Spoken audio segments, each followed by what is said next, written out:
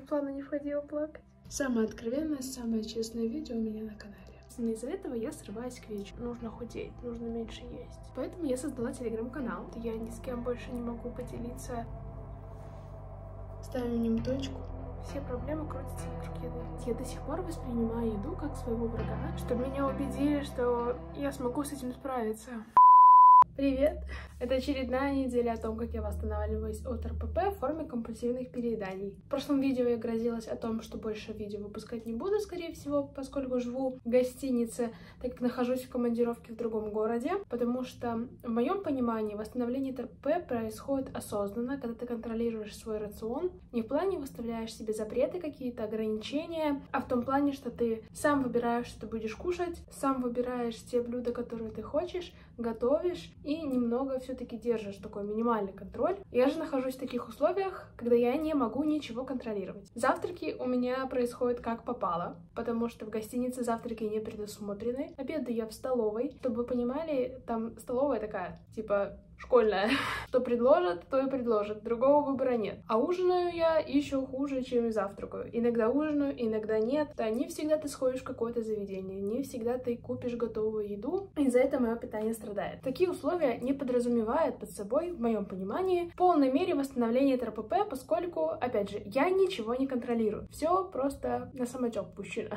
Однако я решила все-таки еще одну неделю снять, поэкспериментировать. Дальше уже будем смотреть. Все-таки хочется показать, сказать, что восстановление возможно и в таких условиях. Не всегда жизнь бывает идеальна и подвластна нашему контролю, поэтому хочется разбавить и показать не идеальную картину. Все устали, наверное, от идеальных картинок в интернете, восстановление, как оно гладко у всех проходит. У меня это немного качели. Помимо этого я буду ходить в зал. Я все-таки подружилась с ним немножечко. Сейчас я как раз собираюсь на тренировку, буду завтракать по максимуму чем-нибудь углеводным, чтобы была энергия на тренировку.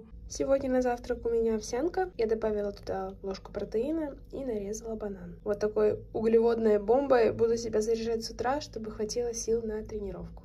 Ну и кофе с сырком. Все по классике.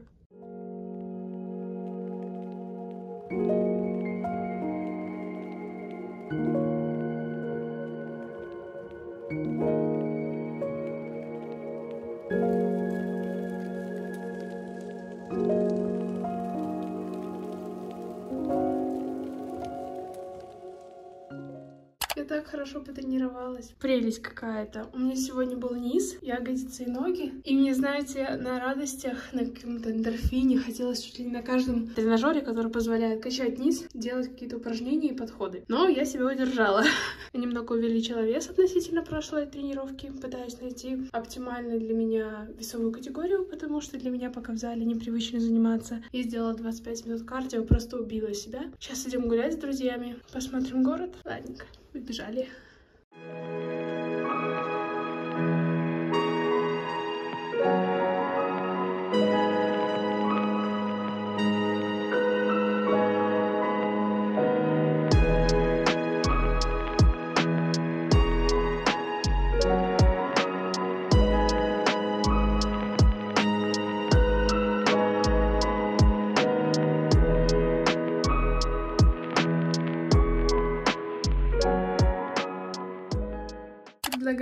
Традиции провести итоги дня. Сегодня у меня вышел объемный по еде день. Утром у меня началось с такого углеводного завтрака, как я уже говорила. Мне нужна была энергия для тренировки. Хотя, знаете, у меня было хоть отбавляй из-за того, что вчера я компульсивно переела. У меня был день каких-то обжорств. Сегодня с утра мне хватало этой энергии на тренировку, но я подумала, что если я сделаю тренировку просто на насыщение еды, которую я потребляла вчера, то к концу тренировки я по-любому уже буду голодная, а это чревато еще одним перееданием. После этого я потренировалась, вернулась домой и пообедала. Собственно, после этого мы отправились гулять, и здесь я совершила ошибку. Мы гуляли очень долго. Часов в 12 вышли, и к 7 часам только вернулись, и я голодала часа 2-3. Я очень хотела кушать, мы еще зашли в магазин, и знаете, вот это состояние, когда вы готовы взять в магазине любую мелочь, потому что вы так хотите есть, вы засматриваетесь на все, на мясо, на батончики, вот что угодно. куда всунь, вы это по-любому возьмете. Вот я в таком состоянии пребывала, вернулась домой и поела из-за того, что очень хотела есть. Я не могла остановиться, то есть я не могла почувствовать вот этот момент насыщения, когда уже все хватит. Общем, мне сегодня получилось после каждого приема пищи какая-то сладость. С одной стороны, я расстроена, с другой стороны, понимаю и осознаю, почему я это делала. Первая причина, потому что вчера у меня было компульсивное переедание, а знаете, когда они случаются, очень тяжело из них выйти, они будто бы зацикливаются,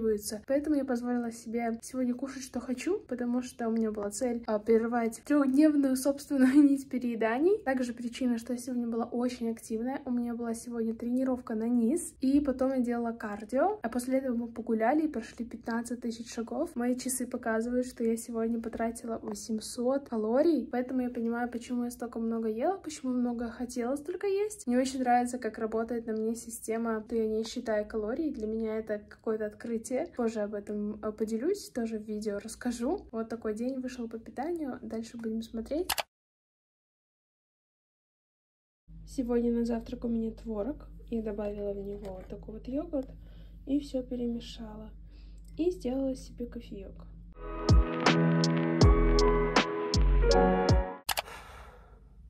Мне так хочется найти где-нибудь поддержку, что я не знаю, к кому бежать.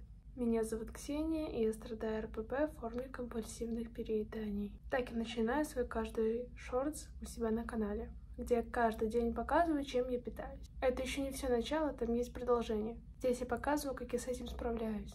Но я не справляюсь. Прошел, наверное, уже месяц, я снимаю видео на YouTube о том, как я пытаюсь справиться с РПП. И не было ни одной недели, где у меня идеально кристально чисто получилось бы питаться. Наверное, я романтизирую то, что со мной происходит, в том плане, что я это снимаю на видео, рассказываю, показываю и требую от себя каких-то быстрых результатов. Вместе с этим у меня в голове перемешиваются мысли о том, что мне не нравится мое тело и я хочу похудеть, и зацикливаюсь на том, что нужно худеть, нужно меньше есть. То есть, понимаете, какая мне каша в голове происходит?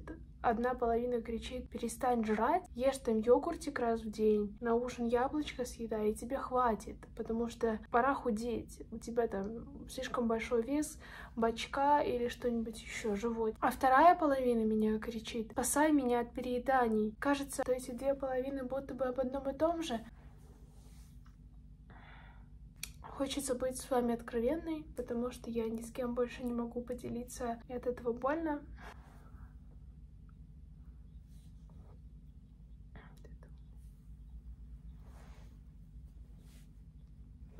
Я постоянно думаю о еде. В моей голове постоянно крутится мысли, что съесть на обед, на завтрак и на ужин. Я не могу отвлечься. Я не знаю, чем себе занять, кроме как съесть. Я не знаю, как себя порадовать. Все проблемы крутятся вокруг еды. Это страшно. Мне хочется поддержки какой-то, э, любви, физической поддержки, что вот меня кто-то может взять, потрогать за руку и сказать, ты не одна. Мне хочется словесной поддержки, чтобы меня услышали, чтобы меня поняли, чтобы меня убедили, что я смогу с этим справиться. В мои планы не входило плакать. Я несколько лет борюсь с компульсивными перееданиями, и несколько лет они мне не подвластны, они просто мной управляют. Просто какой-то отдел мозга сломан, и я не могу его починить. Я снимаю видео с подтекстом поиска поддержки, то меня поймут, услышат, потому что я не могу найти такую поддержку среди своих близких и своего окружения, потому что никто не знает, что это такое. Когда ты говоришь, что я переедаю, объедаюсь, мне просто говорят, прекрати есть, в чем проблема? Но люди не понимают, что это так не работает. Ты не можешь просто остановиться в моменте. Это не так работает. Это вообще не работает. Я думала не снимать эту неделю. Мне разрывается сердце от боли, непонимания, что делать, и я не представляю, представляю, как снимать мотивирующее видео о том, как я справляюсь с РПП, с компульсивными перееданиями, и когда я каждый вечер просто плачу от того, что я не могу себе помочь. Сегодня я не снимала вам ужин. Как вы думаете, почему? Сегодня случился опять эпизод компульсивных перееданий, и я не буду объяснять почему, потому что с предыдущей ставки все понятно. Мне просто нужна помощь, кажется. Я надеюсь, что я с этим справлюсь что я наведу порядок в своей голове и определюсь, какие цели для меня наиболее достижимы и наиболее важны. Похудеть или подружиться с едой. Спасибо, что выслушали. потому что для меня это важно, для меня важно выговориться, знать, что я буду услышанной, выслушанной. Для меня это правда важно. Доброе утро! Сегодня новый день, когда нужно все изменить, поменять и начать сначала. Тяжело, потому что начинать сначала всегда очень трудно, искать какие-то новые пути, а, прислушиваться к себе заново, но будем стараться. Сегодня утром мне совершенно не хочется кушать. После нескольких дней перееданий мой желудок просто в шоке. Сегодня у меня полный желудок с утра, поэтому я решила съесть просто сырок и выпить кофе. Я беру с собой перекус на случай, если я захочу поесть, но снова пообедаем мы с вами уже нормальной едой. Начинаем с вами новый день, надеемся на успех и на собственное благоразумие. Так что поехали.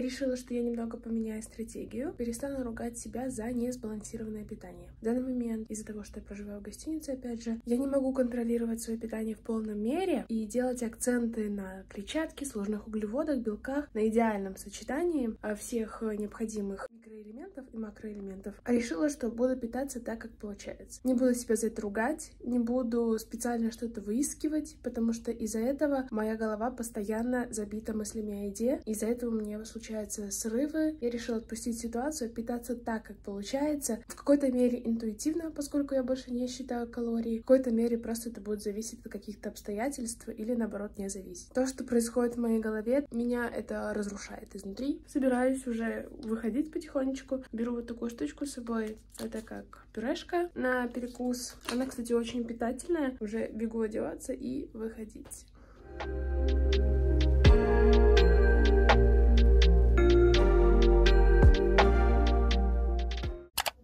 Очередной вечер.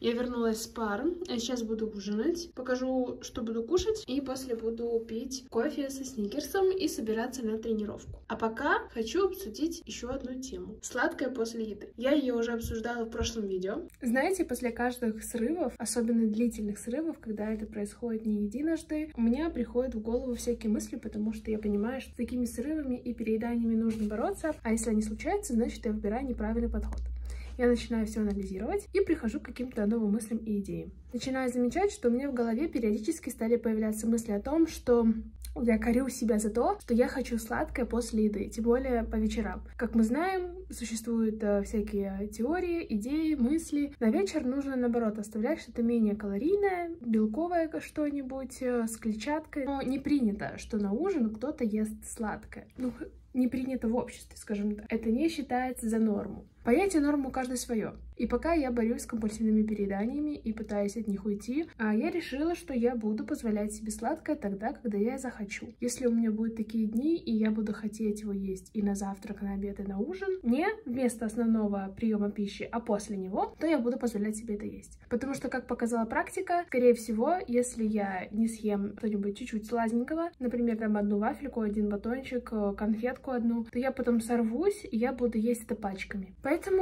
Пока так. Я также считаю, что не запрещать себе что-то — это равно разрешать себе абсолютно все. Благодаря этому я могу научиться доверять себе и собственным желаниям. Наконец-то научиться слышать себя, что я хочу в данный момент времени, что я не хочу, какое желание у меня возникает из головы, какое из желудка, что является эмоциональным голодом. Не строить себе рамок и ограничений, из чего возникает доверие к собственному телу, к которому я могу относиться с заботой, не нежностью и выражать любовь, как мое тело этого заслуживает. Поэтому пока выбираем такую теорию, ничего себе не запрещать, чтобы наконец-то найти баланс, гармонию с собой, себя услышать. Потому что, когда я нахожусь дома, в комфортных для меня условиях, у меня это получается. У меня нет, грубо говоря, каких-то внешних факторов, которые внезапно резко на меня влияют. А здесь некомфортная для меня обстановка, и я просто теряюсь. Это, знаете, такая ситуация, которая позволяет мне работать именно с мышлением. И пользоваться не такими советами, как занимать свободное время, тренироваться, находить себе занятия, то есть физически, да, какое-то восприятие, заполнение времени, а именно с мышлением прорабатывать, почему я хочу это съесть, как поступить так, чтобы я больше не срывалась. Интересный опыт. И каждый опыт в жизни полезен. Так вот, мой ужин на сегодня. Здесь фаржа и филе, плохо видно, кофе и сникерс.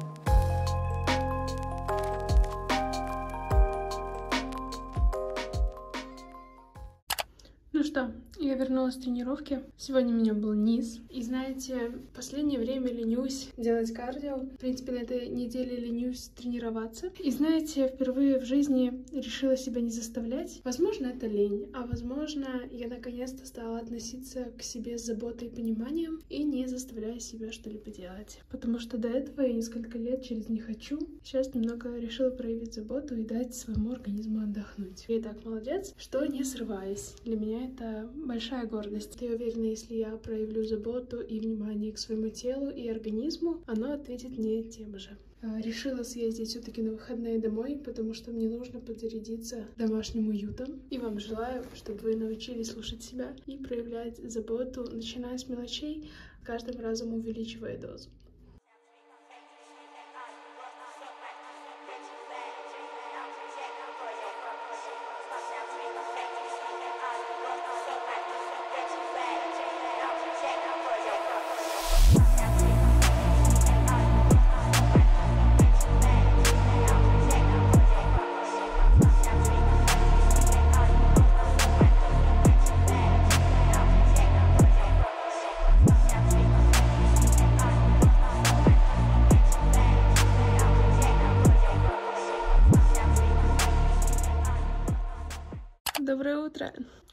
Вернулась домой. Вернулась не навсегда, а на выходные. В последнее время очень плохо себя чувствовала, эмоционально подавленной. Либо это осень мне сказывается, я начинаю хандрить, и так, знаете, легкая осенняя апатия появляться. Это 6 часов дороги в одну сторону. Но, знаете, никакие эмоции, настроение не ставятся вровень с деньгами, потраченными на дорогу, и с временем. Буду эмоционально заряжаться, наслаждаться временем проведенным. Беру вас вместе с собой.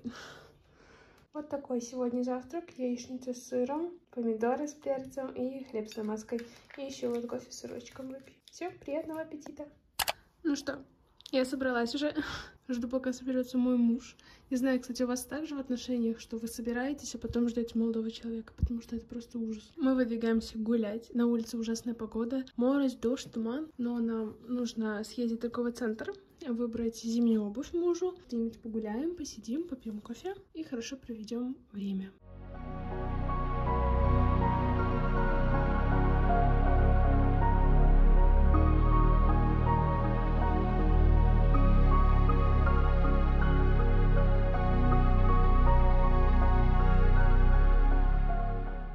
Сейчас хотела обсудить еще одну тему — страх еды. А знаете, за что люблю ваш обратный отклик? Когда набирается много комментариев относительно одной точки зрения, то это заставляет э, задуматься над этой точкой зрения, подумать, поразмыслить и каким-то своим выводом прийти. У меня есть страх еды. То есть я до сих пор воспринимаю еду как своего врага, а не помощника в ежедневном пополнении энергии. То есть я боюсь больших порций еды. Возможно, я их и хочу, я их и съем, и буду сыта от них, но как РППшника меня пугает этот объем еды, который лежит у меня на тарелке. То есть много мяса, много углеводов, много овощей, не знаю. Меня просто отталкивает, потому что я боюсь, а вдруг я поправлюсь, а вдруг будет много, вдруг я переем, а вдруг из-за этого количества еды мне не хватит сладкого. В общем, мыслей много, и это, знаете, такой шум постоянный в голове тебя вынуждает выбирать меньшее количество, тем, которое тебя может наполнить. Я решила, что буду бороться с этим страхом.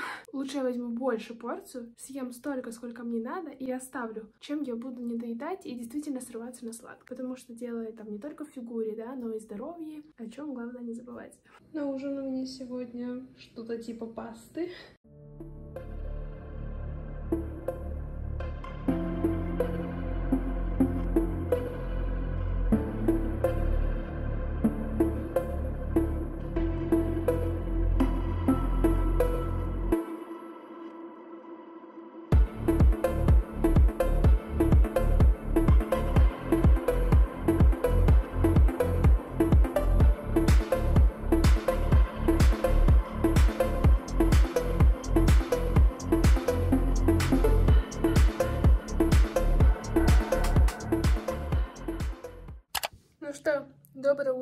Для тех, у кого оно доброе. И мне сегодня выдвигаться в дорогу. Возвращаюсь обратно на учебу. Сходила в душ, немного собралась, буду сейчас завтракать и собираться. Честно говоря, желание возвращаться полностью отсутствует, потому что мне так хорошо дома. Я здесь сама строю свою рутину, сама контролирую все процессы. Мне от этого так спокойно. Ну и, конечно же, дома своя атмосфера. Как-то так. Так что поехали кушать, собираться и выезжать. Сегодня тоже будет немного хромать питание. В принципе, как и всегда, блин.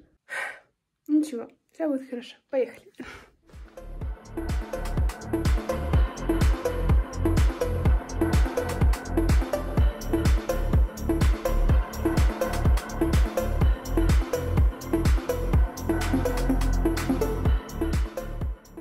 Сейчас читала ваши комментарии и так вдохновилась. Знаете, мне так откликаются многие комментарии. Некоторые предлагают какие-то советы, какие-то способы по выходу из компульсивных перееданий, интересные подходы к питанию, которые я ранее и не слышала. И мне бы хотелось иметь возможность обсуждать это в live-режиме, потому что YouTube, как мне кажется, это больше про такой анализ уже прошедших ситуаций, которые были до, и уже в будущем мы пересматриваем эти моменты и смотрим, как люди их проживали. Мне бы хотелось найти формат такого более ежедневного общения. Мне сейчас откликается, честно говоря, телеграм-каналы, их подход, как-то можно и голосовые снимать, и фотографии сбрасывать, и большие посты писать. Там много вариантов, как можно общаться с аудиторией в онлайн-режиме для быстрых ответов, реакций. И я подумала создать телеграм-канал, потому что у меня накопилось много разных советов, анализов, таблиц, как можно выйти из компульсивных перееданий. В принципе, рецептов много, но YouTube не дает такой возможности в широком широком формате это все преподносить. Поэтому я создала телеграм-канал,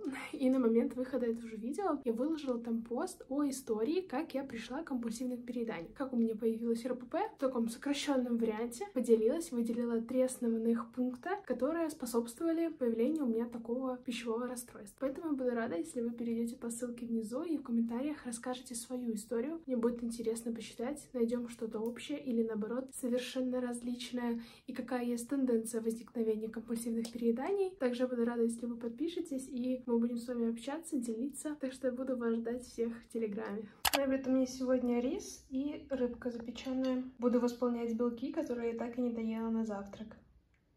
Но не изменяя себе, после основного приема пищи э, сделала себе кофе и шарлотку. Сама я пекла. Хочу показать вам. Ну, очень вкусно получилось. Много начинки. Просто сказка, девочки. Для меня еще шарлотка ассоциируется с осенью. Восполнять свое осеннее настроение. Как-то так. Такое грустное настроение немного. Собрала чемодан, уже вызвала такси. Жду, пока она подъедет, буду одеваться и выходить. И не могу, мне так тяжело прощаться с домом. Я настолько домашний человек. Сил мне, чтобы не расплакаться. Еще и мой милый кошечка меня провожает. Да, булочка моя. Так что поехали, девочки, сражаться, учиться.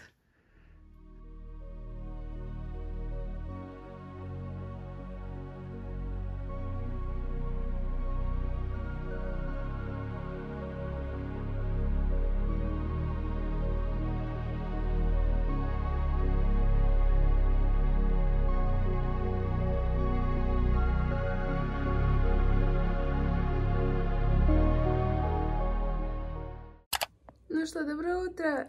Сегодня завершающий день нашей недели. Я проснулась, так тяжело себя собирала с постели после дороги, потому что пока приехала, разложилась, очень поздно легла. Сейчас буду завтракать, буду собираться на учебу, а вечером поеду гулять в город, поэтому будем начинать наш день. Поехали! Сегодня у меня такой завтрак. Здесь оладушки и творог с бананом. Я еще заварила кофе и возьму сюда яблочное варенье. Решила соединить сегодня идеальное КБЖУ, потому что, по-моему, уже пора начинать нормально есть.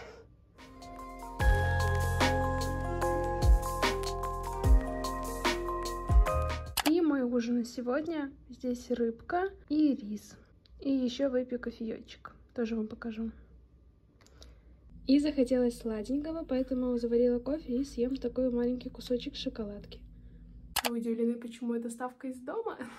Я решила, что хочу с вами попрощаться именно из дома. Здесь для меня уютнее, спокойнее. Спасибо, что посмотрели это видео. Приятно за то, что оставляете комментарии, поддерживаете меня. Пишите еще какие-то свои мысли, идеи, как сторонних наблюдателей моего питания, моего строения рациона.